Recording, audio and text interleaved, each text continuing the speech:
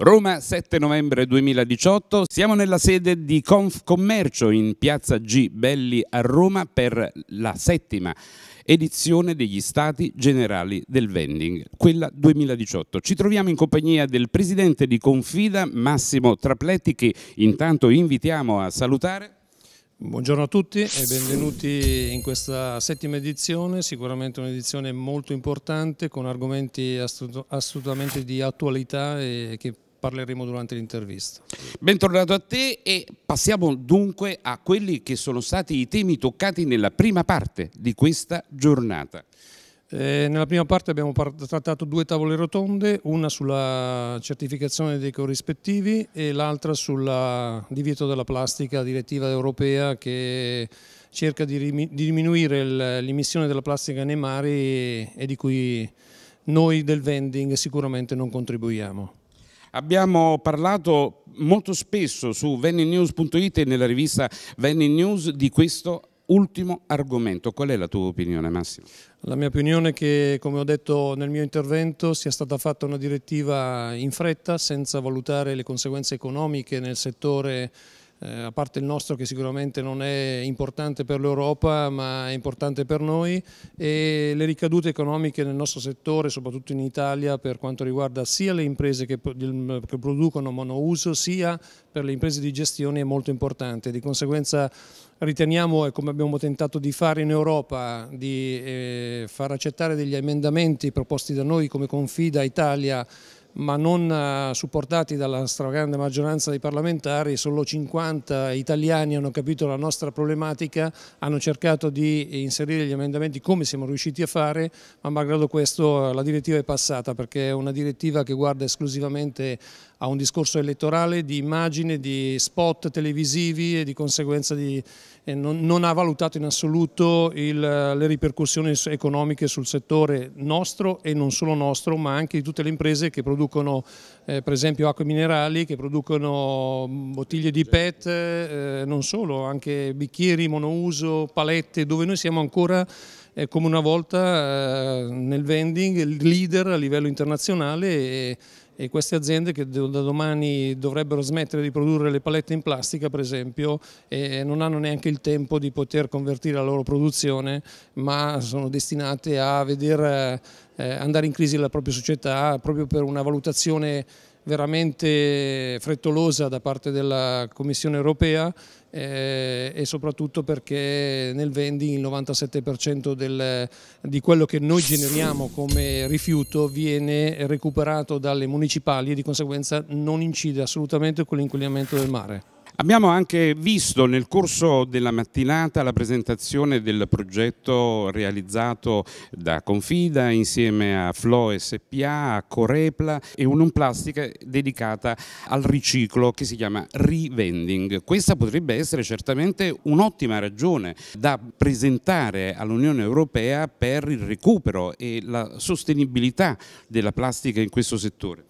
Sì, eh, qui parlano di riduzione o, o di, addirittura di abolizione della plastica in determinati settori o segmenti, senza considerare, come dicevamo prima, quali sono i settori che possono inquilinare. Revending è un'esperienza che stiamo portando avanti con molto interesse noi di Confida insieme a Union Plast e Corepla proprio per dimostrare che è possibile riciclare il 100% del polistirolo dei bicchieri e delle palette e riutilizzarli e farli tornare ad essere bicchieri e palette da riutilizzare nel vending, quindi non è più considerato monouso ma è pluriuso. E quindi eh, porteremo questa nostra istanza ai parlamentari italiani perché prima di poter eh, essere recepita la direttiva europea deve essere analizzata dai nostri parlamentari. E forse qui c'è una sensibilità leggermente diversa proprio perché abbiamo delle società che sono leader in Europa e le dovremo tutelare fino all'ultima possibilità che abbiamo. E noi appoggeremo le vostre iniziative dandone ampia visibilità non solo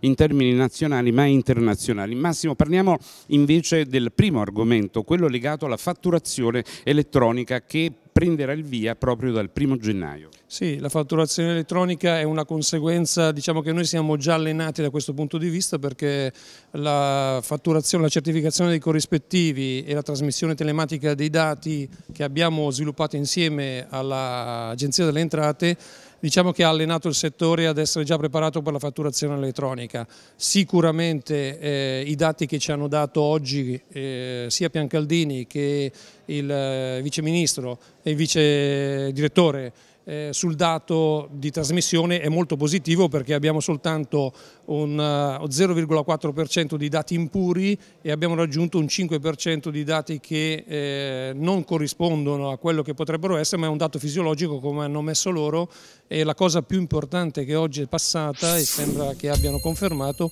che per il 2023, quando sarà la fase eh, definitiva del, dell'implementazione della certificazione corrispettivi, non ci dovrebbe essere nessun costo aggiuntivo per quanto riguarda le società, oltre a quello che hanno già supportato, perché si potrà soltanto o si dovrà soltanto affinare insieme a loro quelle che sono le trasmissioni attuali con gli strumenti attuali e quindi il settore se, se, recepiamo come positiva la, la, la risposta che ci hanno dato non dovrebbe essere ulteriormente danneggiato. Parliamo ora di quelli che sono gli argomenti da trattare nelle prossime quattro ore. Eh, è un altro eh, argomento molto importante, l'iperammortamento impresa 4.0, dove ancora una volta eh, io sono uno dei promotori che spinge il settore a osare, soprattutto per cambiare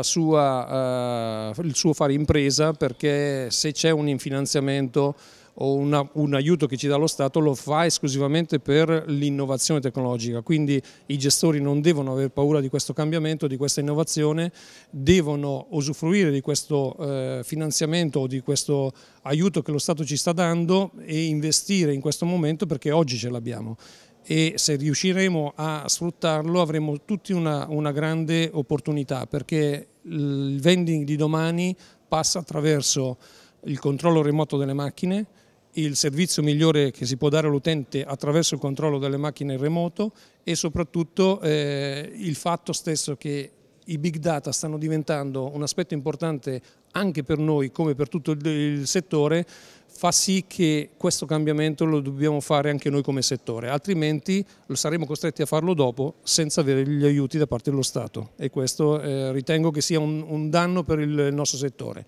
Quindi stimolo tutti in assoluto a considerare questa opportunità e noi come Confida mettiamo a disposizione anche uno sportello dedicato a Impresa 4.0 che aiuti i gestori che abbiano dei dubbi, possono chiamarci in qualsiasi momento, chiarire quali sono le problematiche che hanno o i dubbi che hanno e noi saremo in grado di poterli aiutare a risolverli e quindi dargli questa opportunità. Passa una volta nella vita, lo abbiamo avuto con grande sacrificio, soprattutto attraverso l'attività di Confida e di alcuni personaggi della commissione tecnica che hanno lavorato con, uh, con il Ministero,